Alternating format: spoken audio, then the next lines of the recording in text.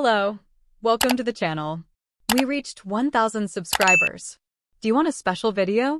Saudi Entertainment Project will soon feature football icon Cristiano Ronaldo. Since setting foot in the kingdom, the Portuguese legend has impressed fans with the magic of football.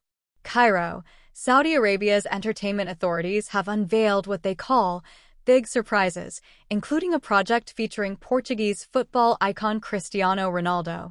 A project with the legend Cristiano Ronaldo in Riyadh will be announced in the coming months, said the head of the Saudi General Entertainment Authority, GA, Turki Al-Sheikh, in a post-X without giving details.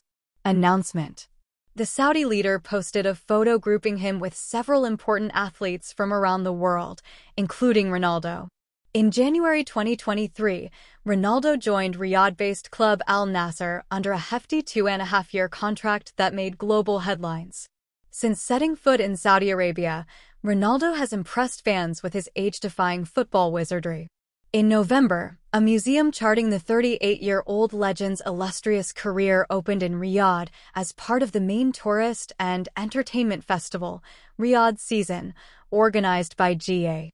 However, the five-time Ballon d'Or winner was recently criticized for what was described as an unsportsmanlike act on the pitch.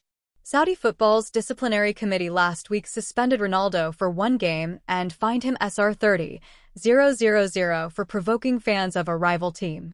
In his team's Saudi League match against Al Shabab, he allegedly made an obscene gesture after fans insulted him by shouting the name of Argentine icon Lionel Messi.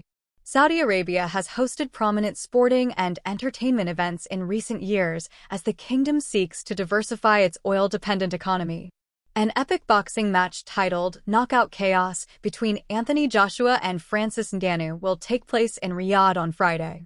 In 2016, the kingdom created the GA, a state agency that has since sponsored a series of stellar concerts, shows, and festivals.